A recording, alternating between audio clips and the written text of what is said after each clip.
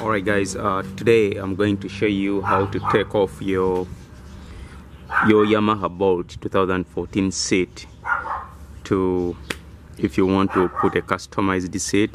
So I'm gonna I'm gonna do a quick video on how you can take it off. So let's get to it. What you're gonna need is a wrench which is um, which is a 10 millimeter. And then your motorcycle key.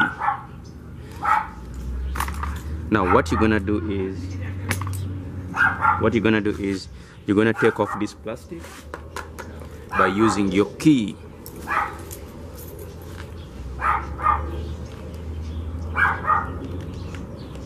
This plastic setting the key down and then put up.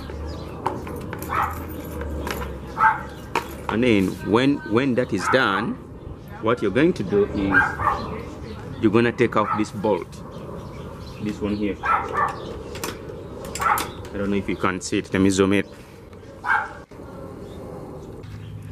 okay you're going to take out uh, this bolt here.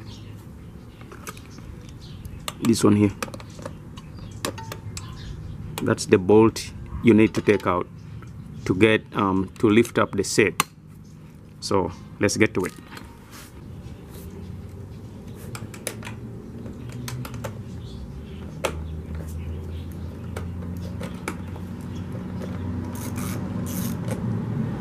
voila and then what you do is you just lift up.